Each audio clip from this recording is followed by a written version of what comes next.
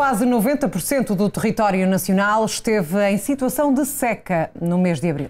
A Comissão Europeia diz estar a acompanhar a situação no sul da Europa e alerta para o impacto nos agricultores.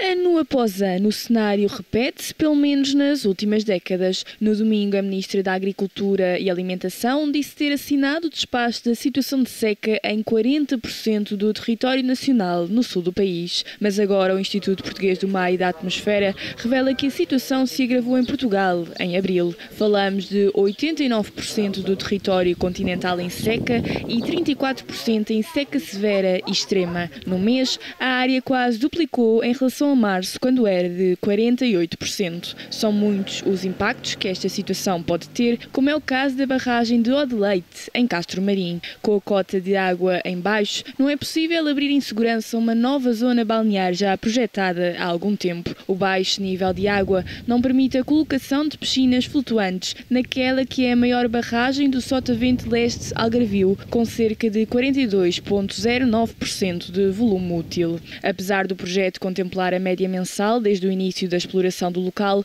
nos últimos quatro anos a situação de seca e a falta de chuva agravou-se de tal modo que torna agora a ideia impossível de se realizar.